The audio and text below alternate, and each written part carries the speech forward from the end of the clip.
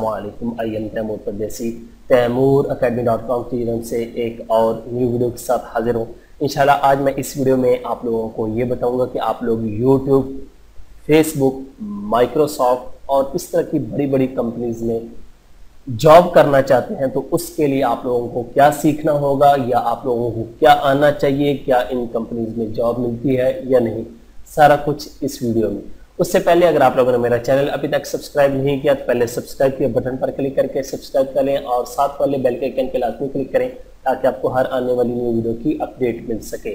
तो बात स्टार्ट करते हैं गूगल में जॉब की। जी हाँ अब गूगल आप सोच रहे होंगे कि यार गूगल तो एक सर्च इंजन है, छोटा सा है, ये एक ब्राउज़र है और कुछ नहीं है, लेकिन गूगल इस टाइम आप लोगों को बता दूँ कि दुनिया की सबसे बड़ी कंपनी है।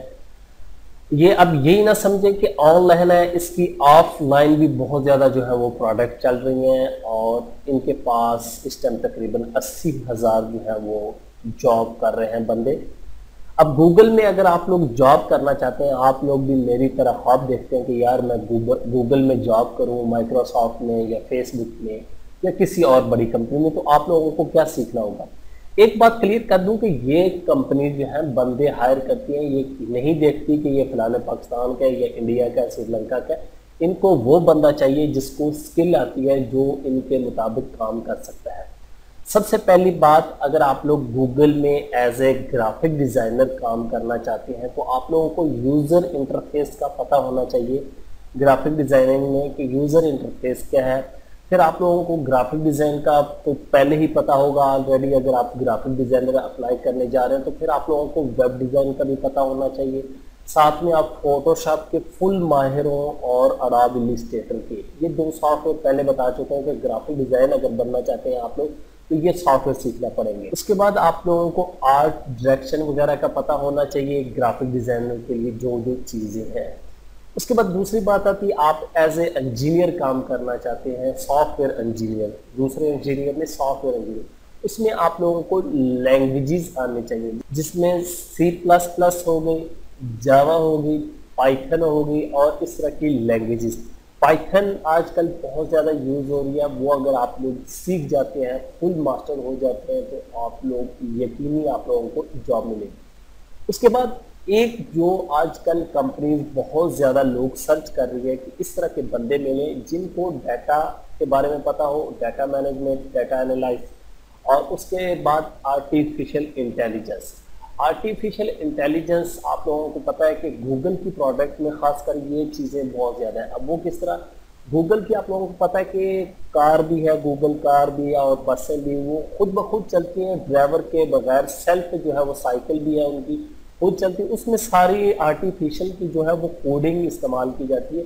अब जो बंदे आर्टिफिशियल इंटेलिजेंस को जानते हैं, उनकी तो जॉब आसानी से लग सकती है। उसके बाद जो हमारे जैसे बंदे रह जाते हैं, उनके लिए अगर कोडिंग आप लोगों को नहीं आती तो फिर आप लोग प्रोजेक्ट मैनेजमेंट में जा सकते हैं। प्रोजेक्ट मैनेजमेंट में आप लोगों को पता होना चाहिए प्रोजेक्ट क्या है, उसको मैनेज किस तरह करना है स्ट्रेटजी क्या है क्लाउड कंप्यूटिंग क्या है, और जितना कुछ जो है आपके प्रोजेक्ट मैनेजमेंट में आता है, वो आप लोगों को पता अब ये कुछ चीज़ें हैं जो आप लोग गूगल में फेसबुक में और माइक्रोसॉफ्ट में आसानी से जॉब हासिल कर सकते हैं। उसके बाद एक और अहम चीज़ कि मशीन लर्निंग पहले मैं बात कर चुका हूँ आर्टिफिशियल इंटेलिजेंस की। मशीन लर्निंग की बात करता हूँ तो आप लोग इसको डाटा साइंटिस्ट के तौर पे भी जानते हैं, जिसको डाटा एनालाइज करना आता हो मशीन लर्निंग आती हो एस आता हो वो जितना इसमें जो जो चीज़ें आती हैं, वो उसके बारे में डिटेल से जानता हो।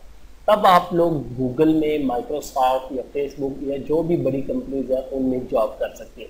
लेकिन एक बात याद रखें कि आप लोगों को आपकी डिग्री जो है, इसमें उसके जीपीए बहुत हाई लेवल के नहीं होना चाहिए। आप लोगों की स्किल बहुत हाई लेवल के होनी चाहिए।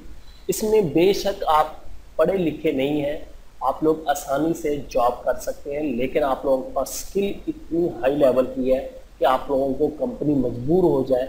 और आप लोगों ने यूट्यूब पे एक वीडियो भी देखी होगी, एक इंडियन बच्चा है, वो बारह तेरह साल का सिर्फ़ उसको आर्टिफिशियल इंटेलिजेंस आती है और उसकी जो तनख्वाह है सैलरी तकरीबन सत्तर करोड़ रुपए पर मंथ है।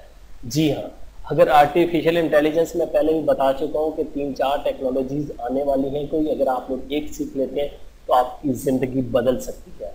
तो इस तरह आप लोग गूगल या फेसबुक या माइक्रोसॉफ्ट में जॉब हासिल कर सकते हैं। अगर आप लोगों के पास या तो आप लोग ग्राफिक डिज़ाइनर हो, या आप लोगों के पास कोडिंग हो, या आप लोग सॉफ्टवेयर इंजीनियर हो, या आप लोगों को आजकल आर्टिफिशियल इंटेलिजेंस मशीन लर्निंग आती हो तो फिर आप लोग कामयाब हो सकते हैं। उसके अलावा ये छोटे छोटे गूगल जो है वो कंट्री में भी बंदे हायर करते रहते हैं, जिस तरह उनको कोई मैनेजर चाहिए या वहाँ का कोई हाई लेवल का बंदा चाहिए। जो कंट्री के अंदर जिस तरह पाकिस्तान में यूट्यूब का कोई बंदा यहाँ पे नहीं है, उनको चाहिए तो उन्होंने देखना यूट्यूब को कौन समझ सकता है। वहाँ पे उनकी कोई स्किल नहीं चलती, वहाँ पे उसको वो ज़्यादा प्रेफर करते हैं, जिसको थोड़ा बहुत पता हो और उसकी इंग्लिश अच्छी हो, वो डील अच्छा कर सकता हो। तो इस तरह आप लोग भी जॉब हासिल कर सकते हैं। उम्मीद करता हूँ कि आज की वीडियो आप लोगों को ज़रूर पसंद आएगी। Thanks for watching